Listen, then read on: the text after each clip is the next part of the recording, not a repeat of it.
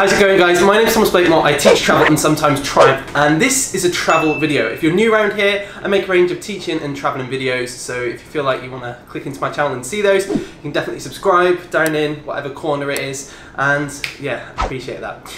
So I reached the end of the week last week and it was a really good but long and busy, stressful week of school.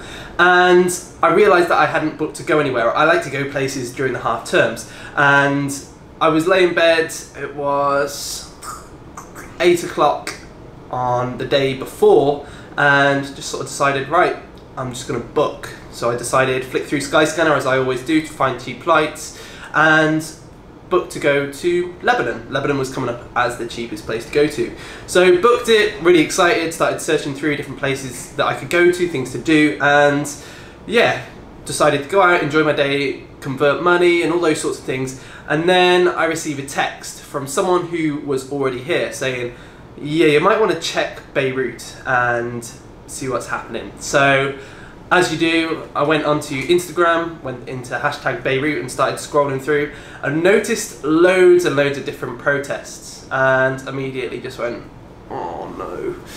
But I thought it'll be okay and yeah, just continued on with my day and then obviously spent the rest of the day just completely overthinking it. So got back and then sort of ummed and ah about whether I was going to go.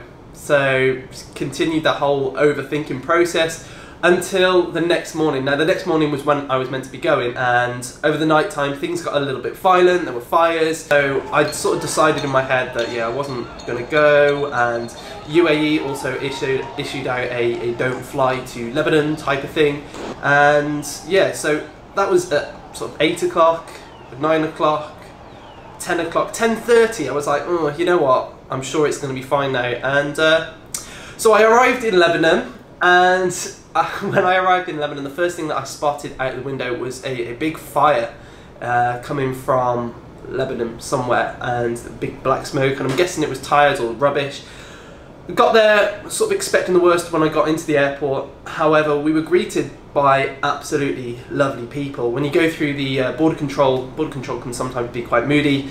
I know that Claire, who was travelling with me, uh, she stopped and the person who she, she was speaking to was really lovely. He just genuinely couldn't apologise more just for, he was saying, oh, you guys need to, to come back, which is sort of a bad sign, when it's nicer and yeah, just genuinely a lovely person. We got out, got into a Careem and just drove down to our hotel and it was pretty straightforward there were blocks on the roads. We noticed that, and we, we took a lot of back routes, and it was it was generally quite okay though because it was the morning.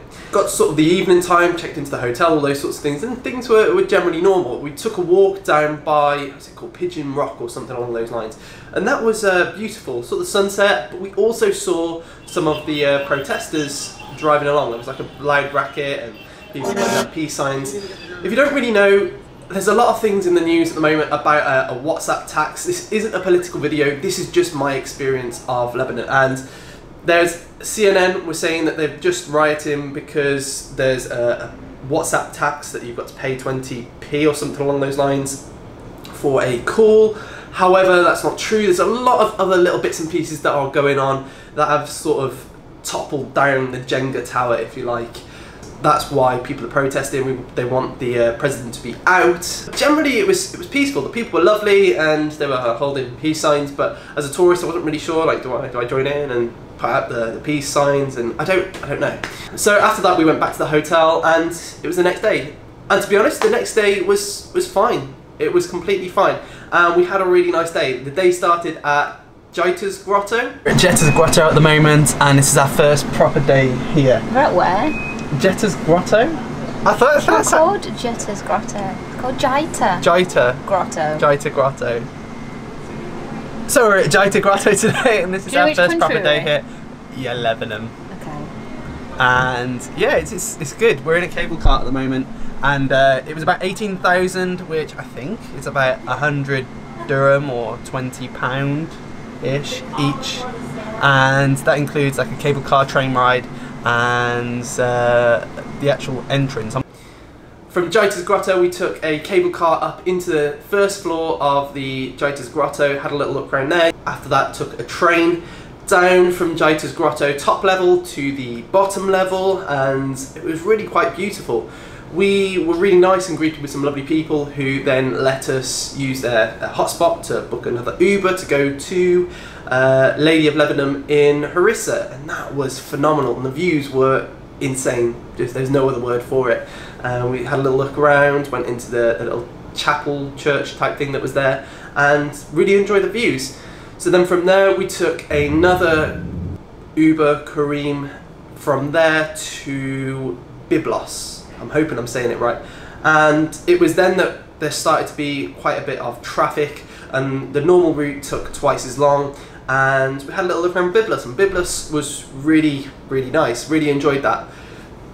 From there we then had to come back to our hotel. We decided to leave a little bit early but even though we left early there was a lot of traffic. So I guess the reason why you guys might be watching this video is why I left early. And to be honest, it's not a major reason. I'm not in any danger, I feel safe, the people are lovely, but I guess the, the person at Border Patrol was right. I want to experience Lebanon when it's at peace and when you can really get to, to experience it properly. So I feel like because of the traffic, I don't know whether I'm going to go to somewhere further out in Lebanon and then get stuck there, which won't be ideal, and missing flights and all those sorts of things.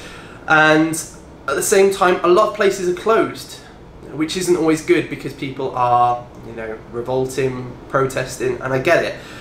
But as a tourist, it's, it's a little bit harder. So I've decided to, to book a flight earlier home, just so that I can I don't know, spend the rest of my holidays in Dubai. Lebanon, you are genuinely a beautiful country and the people make it even more so. I've really enjoyed my time here for the most part, but I understand that you have things that are going on. I really, really hope that you do get them sorted because it's, it's what you guys deserve. All the best guys, uh, it doesn't feel right to do the whole like, share, all that business, so we'll leave that out. But hopefully you've enjoyed the video. I hope you're having a nice holidays or whatever you're up to at the moment. Thanks for watching the video. I'll see you in the next one guys. I'm out.